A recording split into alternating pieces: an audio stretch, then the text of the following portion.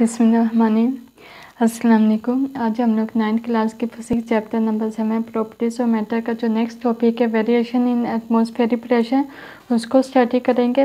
Last lecture में हम लोगों ने स्टडी किया था कि मजरिंग एटमॉस्फेरिक प्रेशर के एटमॉस्फेरिक प्रेशर को हम लोग किस तरह से मेजर कर सकते हैं? बाई यूजिंग बैरोमीटर अब हम लोग बात करेंगे वेरिएशन इन एटमॉस्फेरिक प्रेशर के। एटमॉस्फेरिक प्रेशर में क्या चेंजिंग आती है?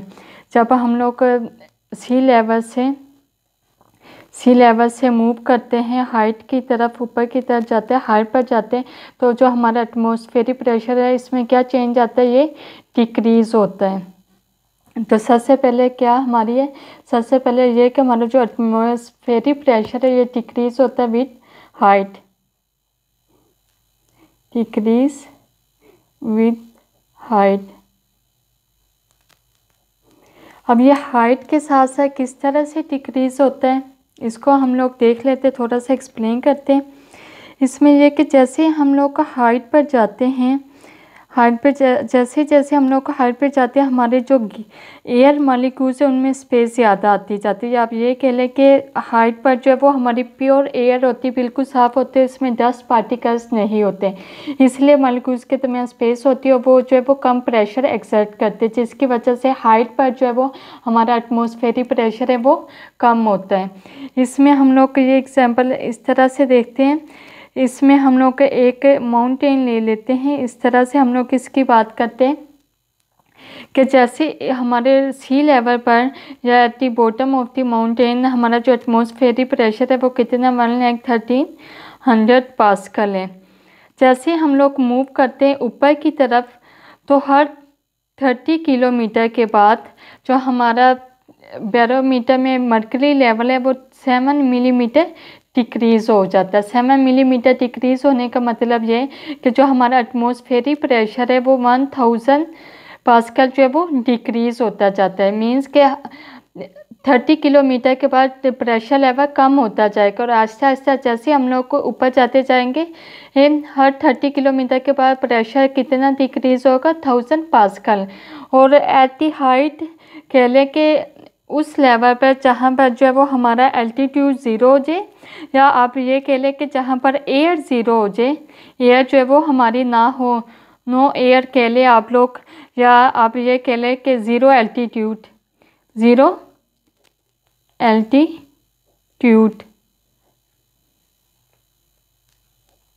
zero altitude का मतलब ये कि वहाँ पर एयर नहीं है। अगर एयर नहीं है तो उससे वहाँ पे प्रेशर क्या होगा? वहाँ वहाँ पे हमारा जो एटमोसफेरी प्रेशर होगा, वो क्या होगा? ज़ीरो पास्कल होगा। क्योंकि जब एयर मालिक्यूल्स ही नहीं है तो वो प्रेशर कैसे एक्सर्ट करेंगे? जब प्रेशर एक्सर्ट नहीं करेंगे तो एटमोसफेरी प्रेशर भी क्या हो जाएगा? ज़ीरो हो जाएगा। तो ये हम लोगों ने देख लिया कि एटमॉस्फेरिक प्रेशर जो है वो किस तरह से चेंज होता है बाय चेंजिंग दी हाइट या with respect to height next जो है वो उसमें हम लोगों ने ये, अगर हम लोग देखें कि एटमॉस्फेरिक प्रेशर को हम लोग किस किस पर्पस के लिए यूज़ कर सकते हैं, इससे हमें क्या फ़ायदे हैं? तो सबसे पहले हम लोग क्या देखते हैं इसका? पर्पस अगर हम लोग दे लें तो सबसे पहले जो है वो हम लोग इसकी मदद से एल्टीट्यूड जो है वो फाइंड आउट कर सकते हैं। एल्टीट्यूड जो है वो फाइंड आउट कर सकते हैं। एल्टीट्यूड किस तरह से फाइंड आउट कर सकते हैं? फॉर एग्जांपल अगर हमारा कोई भी माउंटेन है एल्टीट्यूड से मुराद के हाइट हम लोग ने माउंटेन की हाइट फाइंड आउट करनी, ठीक है? कि ये इस माउंटेन की कितनी हाइट है तो कैसे हम लोग फाइंड आउट कर सकते हैं? इसे मैया तो नहीं कर सकते कि एक आदमी को नीचे खड़ा कर दें। उसे कहें कि तुम जो है वो मीटर रोड पर करके खड़े हो जाओ और एक हाइट पे चला जाए वो वहाँ पे ऐसे नहीं होगा। तो सिंपल इसका मैटर क्या होगा कि हम लोग बेस लाइन पे, बॉटम पर जो है वो एटमोसफेरिक मैया प्रेशर फाइंड आउट करें जो कि हमारा almost one lakh thirteen hundred pascal है। और इसके अलावा क्या क्या हम लोग का हाइट पर जाके मींस माउंटेन की टॉप पर जाके जो वो दोबारा से एटमॉस्फेरिक प्रेशर मुहैया करें। फॉर एग्जांपल ये हमारा आ जाता है हाइट पर जो है वो हमारा एटमॉस्फेरिक प्रेशर जो है वो थर्टीन थाउज़ेंड एग्ज़ाम्पल हम लोग ले रहे हैं कि ये तकरीबन थर्टीन थाउज़ेंड पास्कल जो है वो हमारा एटमॉस्फेरिक प्रेशर जो है वो आ रहा है। तो हम लोग क्या करेंगे, इसमें से इसको माइनस कर देंगे तो वो हमारा चेंज इन प्रेशर आ जाएगा। फाइनल इनिशियल में से फाइनल को माइनस करेंगे तो चेंज इन प्रेशर आ जाएगा। अब ये जो हमारा चेंज इन प्रेशर होगा, इसको हम लोग मल्टीप्लाई कर देंगे थर्टी किलोमीटर के साथ। थर्टी किलोमीटर हमें बताता ना हाइट के, थर्टी किलोमीटर के बाद हमारा प्रेशर जो वो वन थाउज़ेंड जो वो डिक्रीज हो जाता है। तो हम लोग देखेंगे, पहले देखेंगे कि कितना हमारा के वो जो है वो प्रेशर डिक्रीज हुआ। उसके बाद जो है वो हम लोग उसको हाइट से मल्टीप्लाई कर देंगे मीन्स थर्टी किलोमीटर से मल्टीप्लाई कर देंगे तो वो हमारा क्या दे देगा? हमें इस माउंटेन की एल्टीट्यूड या फिर हाइट बता देगा, ठीक है? इसके अलावा जो नेक्स्ट पर्पज़ है वो हमारा है वेदर चेंजिंग हम लोग इससे वेदर का भी हमें पता चलता है। वेदर चेंजिंग हम लोग देखते हैं। Sorry weather changing weather changing का किस तरह से हमें पता चलता है? इस तरह से हम लोग देखते हैं कि फॉर एग्ज़ाम्पल समर में क्या होता है? समर में क्या होता है कि हॉट टेम्परेचर होता है। समर हॉट होती मीन्स हाई टेम्परेचर होता है। हाई टेम्परेचर से मुराद ये हैं कि जो हाई टेम्परेचर से मुराद ये है कि हमारे जो एयर मालिक्यूल्स हैं, उन्हें बहुत ज़्यादा काइनेटिक एनर्जी मीडिया मीन्स कि सन की सूरज ज़्यादा जो है वो रेडिएशन से मीट कर रहा है और ज़्यादा रेडिएशन जो है वो डायरेक्ट अर्थ पर आ रही है। अर्थ पर जब सन रेज आएँगी तो वो क्या करेगा? एनर्जी प्रोवाइड करेगा। एनर्जी प्रोवाइड करेगा एयर मालिक्यूल्स को। तो क्या होगा? एयर मोलिक्यूल्स जो हैं, उनकी काइनेटिक एनर्जी इंक्रीज़ हो जाएगी। काइनेटिक एनर्जी क्या हो जाएगी?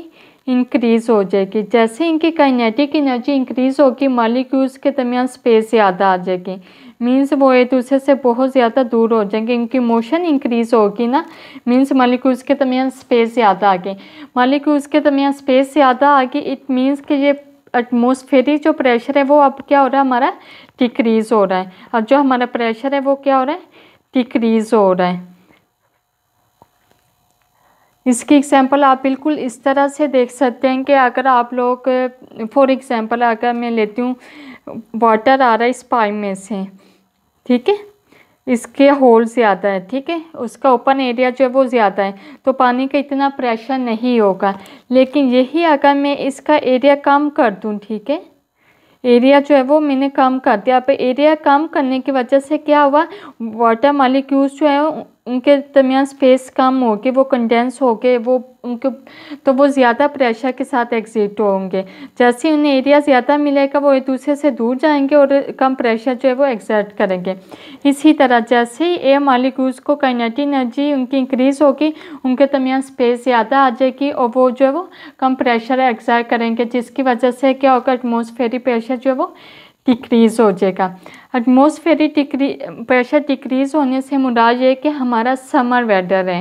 या आप ले, ये कह लें कि गर्मियाँ हैं, गर्मी ज़्यादा है। इसी के ऑपोजिट हम लोग ले लें। कूल वेदर या हम लोग विंटर ले लें। विंटर की बात करते हैं। विंटर में क्या होता है? विंटर में क्या होता है? कोल्ड वेदर होता है। कोल्ड वेदर से मुराद टेम्परेचर कम होता है। लेस टेम्परेचर या फिर आप ये कह लें कि डिक्रीज इन टेम्परेचर तो क्या होगा कि एयर मालिक्यूल्स जो हैं, उनकी एनर्जी कम होगी और उनके दरमियान स्पेस जो है, वो भी कम होगी। इनकी मोशन जो है, वो अब कम है। इन्हें कोई एनर्जी नहीं मिली, जिसकी वजह से इनकी काइनेटिक एनर्जी जो है, वो इंक्रीज़ हो सके। तो इसलिए मालिक्यूल्स के दरमियान स्पेस कम है मालिक्यूल्स कंडेंस फॉर्म में है। बिल्कुल इस तरह आप देख सकते हैं कि हमारे जो वाटर होता है, उसमें मालिक्यूल्स दूर होंगे वाटर आप ले लें और जो है वो आप, ओके, हम लोग ये बात करते हैं कि हमारे मालिक्यूल्स के दरमियान स्पेस कम है, जिसकी वजह स्पेस कम होने की वजह से क्या होगा, वो प्रेशर एक्सर्ट करेंगे, जिसकी वजह से जो हमारा एटमॉस्फेरिक प्रेशर होगा, वो क्या होगा इंक्रीज़ कर जाएगा क्योंकि ज़्यादा मालिक्यूल्स हैं और एक दूसरे के करीब करीब है। करीब होने से मुराद ज़्यादा हमारे पास मालिक्यूल्स है। जब मालिक्यूल्स ज़्यादा होंगे एयर मालिक्यूल्स जो है वो ज़्यादा होंगे तो क्या होगा? वो ज़्यादा प्रेशर एक्सर्ट करेंगे। जैसे ही वो ज़्यादा प्रेशर एक्सर्ट करेंगे इट मीन्स कि हमारा जो एटमोसफेरिक प्रेशर है वो इंक्रीज़ कर दिया है। तो ये रिप्रेजेंट करेगा कि जो हमारा वेदर है वो क्या है? विंटर सर्दियाँ हैं हमारे आज उस उस एरिया में या उन दिनों में सर्दियाँ हैं, ठीक है? इसी तरह हम लोग एक और, ये तो हम लोगों ने स्पेसिफिक एरिया की बात कर ली। अगर हम लोगों ने ये फाइंड आउट करना हो कि हमारे एरिया में क्या वेदर चल रहा है, ये एक फॉर एग्ज़ाम्पल ये हमारी अर्थ है, ये हमारा एरिया है, और इसके साथ वाले एरिया में क्या वेदर है, कैसे हमें पता चलेगा कि यहाँ पे वेदर कम है या यहाँ पे सर्दी है, यहाँ पे गर्मी है? तो ये भी एटमोसफेरिक प्रेशर की मदद से जो वो हमें पता चल सकता है। इसमें हम लोग किस तरह से पता चलाएँगे? एग्ज़ाम्पल हम लोग किस तरह से ले लेते हैं? कि हमेशा कोई भी चीज़ है, वो हाई प्रेशर से लो प्रेशर की तरफ़ जाती है। ये हमारा हाई हाई प्रेशर और इस तरफ़ जो है वो लो प्रेशर है। लो प्रेशर फॉर एग्ज़ाम्पल ये हमारा टैंक इसमें वाटर है, ठीक है? ये हम लोगों ने कनेक्ट किया हुआ है। सॉरी ये कनेक्ट किया हुआ है। ये खाली है, ये एम्प्टी है और यहाँ पे वाटर फील है, ठीक है? तो क्या होगा, अब यहाँ पे पानी नहीं है तो यहाँ से पानी हाई प्रेशर से लो प्रेशर की तरफ़ मूव करेगा। हाई प्रेशर ये रिप्रेजेंट करेगा कि यहाँ पर जो है वो, अगर हम लोग प्रेशर की बात करें एयर प्रेशर की बात करें तो हाई प्रेशर ये रिप्रेजेंट करेगा कि यहाँ पर जो वो कोल्ड वेदर है, यानी कि यहाँ पर विंटर है विंटर है और ये जो लो प्रेशर रिप्रेजेंट करेगा यहाँ पर समर है, इस एरिया में समर है। मींस कि यहाँ पे लो प्रेशर मींस मालिक्यूल्स के दरमियान स्पेस आता है? वो फैले हुए हैं, बिखरे हुए हैं तो इसलिए वो कम प्रेशर एक्सर्ट कर रहे हैं। जब वो प्रेशर कम एक्सर्ट करे मीन्स कि वहाँ पे गर्मियाँ हैं। तो इस तरह से जो वो हम लोगों को पता चलता है, एक रीजन से दूसरे रीजन का भी हम लोग बता सकते हैं कि यहाँ पे सर्दियों का मौसम चल रहा है या गर्मियों का मौसम चल रहा है। तो वो हम लोग कैसे पता चलाएँ कि हम लोग वहाँ का एटमोसफेरिक प्रेशर जो है वो मैया कर लें कि उससे हमें पता चल जाएगा कि कौन सा मौसम जो है वो किस एरिए में है। इसके अलावा ये है कि जैसे ही हमारा प्रेशर जो है वो डिक्रीज़ होता है, बहुत कम होता है प्रेशर जो है वो लो प्रेशर जहाँ पर भी होगा, वहाँ पे क्या होगी? वहाँ पे रेनफॉल होगी। रेनफॉल होगी। या फिर आप कह लें कि वहाँ पे प्लेजेंट वेदर होगा। प्लेजेंट वेदर होगा, ठीक है? और इसके अलावा जो है वो, क्योंकि क्या होगा कि हमारी जो हाई प्रेशर से जैसे ही मालिकूज इसकी तरफ़, लो प्रेशर की तरफ़ आएँगे तो क्या करें कि वो वहाँ का वेदर को चेंज कर देंगे। वहाँ के वेदर पे इफ़ेक्ट कॉज करेंगे। इफ़ेक्ट कॉज करने की वजह से क्या हो जाए कि या तो बारिशें हो जाती है अक्सर। जब हम लोग देखते हैं बहुत ज़्यादा गर्मी हो रही होती तो एक दो दिन बाद जो है वो मोस्टली बारिश हो जाती तो क्यों होती? क्योंकि सा वाले एरिया से कोल्ड मीन्स जो है वो मूव करती हैं ट्रेवल करती हैं। कोल्ड कोर्ट मीन जो है वो ट्रैवल करती है। लो प्रेशर की तरफ़ या आप ये कह लें कि हॉट एरिया की तरफ़ हॉट एरिया की तरफ़ ट्रेवल करती हैं तो जिसकी वजह से क्या होगा? रेन फॉल होगी। रेन फॉल हो जाएगी। या फिर मौसम जो है वो अच्छा हो जाता है वेदर प्लेजेंट वेदर हो जाता है। और इसी तरह जो है वो हमारा जो माउंटेन एरिया होता है मरी वगैरह में होता है, वहाँ पे क्या होता है, वहाँ पे मोस्टली जो है वो स्नो फॉलिंग हो जाती है। स्नो फॉल करती है स्नो फॉलिंग हो जाती है, क्यों? क्योंकि वहाँ पे यही, वहाँ पे भी यही सिस्टम होता है कि जब बहुत ज़्यादा कोल्ड विंड जो है वो मूव करके उस स्पेसिफिक एरिया में आती है तो वहाँ के टेम्परेचर को जो है वो डिक्रीज़ कर देती है। और मालिक्यूल्स जो है वो जो पहले वार्म अप जो गर सॉरी गर्म होते हैं, वो टेम्परेचर चेंज होने की वजह से कंडेंस फॉर्म में आ जाते हो, जिसकी वजह से क्या होता है स्नो फॉलिंग हो जाती है।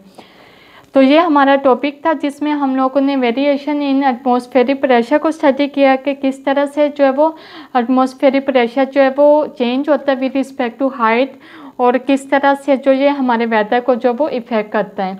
तो आज का हमारा टॉपिक कंप्लीट हो गया, इंशाल्लाह ताला नेक्स्ट वीडियो में जो है वो हम लोग नेक्स्ट टॉपिक को स्टडी करेंगे। तब तक के लिए अपना ख्याल रखिएगा। अल्लाह हाफिज़।